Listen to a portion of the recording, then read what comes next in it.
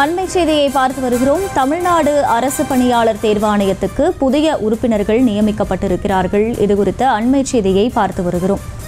தமிழ்நாடு அரசு பணியாளர் தேர்வாணையத்திற்கு புதிய உறுப்பினர்கள் நியமனம் செய்யப்பட்டிருக்கிறார்கள். இதுகுறித்த அண்மை செய்தியை பார்த்து வருகிறோம். தமிழ்நாடு அரசு பணியாளர் தேர்வாணையத்திற்கு புதிய உறுப்பினர்கள் நியமனம் செய்யப்பட்டிருக்கிறார்கள். கூடுதல் விவரங்களை செய்தியாளர் ராஜேஷ் வழங்க கேட்கலாம். ராஜேஷ் வணக்கம். முழு விவரங்கள் என்ன?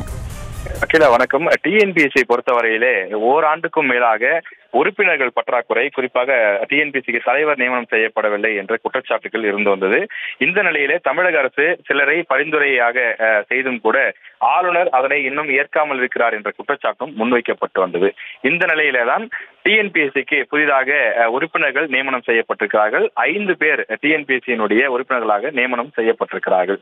தமிழ்நாடு அரசு பணியாளர் தேர்வாணையத்திற்கு பதினோரு உறுப்பினர்கள் இருப்பார்கள். அவர்களில் கிட்டத்தட்ட ஏழு பேர் தற்போது இல்லாத நிலை இருந்து வந்த நிலையில தற்போது ஐந்து உறுப்பினர்கள் புதிதாக நியமனம் செய்யப்பட்டிருக்கிறார்கள். இந்த புதிய உறுப்பினர்களுடைய அந்த பதவிக்காலம் என்பது அதிகபட்சமாக ஆறு ஆண்டுகள் அல்லது அறுபத்தி ரெண்டு வயது வரை இருப்பார்கள் என்று தற்போது வெளியிடப்பட்டிருக்கிறது. ஆளுநர் அதற்கான ஒப்புதலையிட்டு வெளியிட்டிருக்கிறார். முன்னாள் ஐஏஎஸ் அதிகாரி சிவனருள் உஷா சுகுமார் உள்ளிட்ட ஐந்து பேர் அதாவது ஐஆர்எஸ் அதிகாரி சரவணகுமார் மருத்துவர் தவமணி உள்ளிட்டவர்களும் இந்த பட்டியலிலே இடம்பெற்றிருக்கிறார்கள். எனவே பல்வேறு துறை சார்ந்த முன்னாள் அரசு பணியில இருந்தவர்கள் ஓய்வு பெற்றவர்கள் என பல தரப்பை பல தரப்பை சார்ந்தவர்களும் இதுல இடம்பெற்றிருக்கிறார்கள்.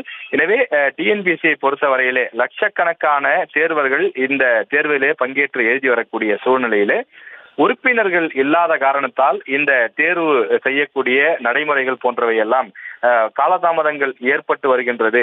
இதனால் மாணவர்களுக்கு விரைவில் அந்த ரிசல்ட்ஸ் வெளியிடுவது தேர்வுகளை உரிய காலத்தில் நடத்துவது போன்றவற்றிலெல்லாம் தாமதங்கள் இருந்து வருவதாக குற்றச்சாட்டுகள் முன்வைக்கப்பட்ட நிலையில் தற்போது உறுப்பினர்கள் நியமனம் செய்யப்பட்டிருக்கிறது. எனவே இது தேர்வர்கள் மத்தியிலே ஒரு மிகுந்த வரவேற்பையும் மகிழ்ச்சியையும் கொடுத்திருக்கிறது.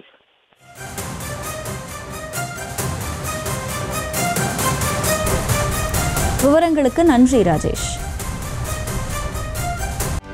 செய்திகளை உடனுக்குடனும் துல்லியமாகவும் தெரிந்து கொள்ள சப்ஸ்கிரைப் பண்ணுங்க.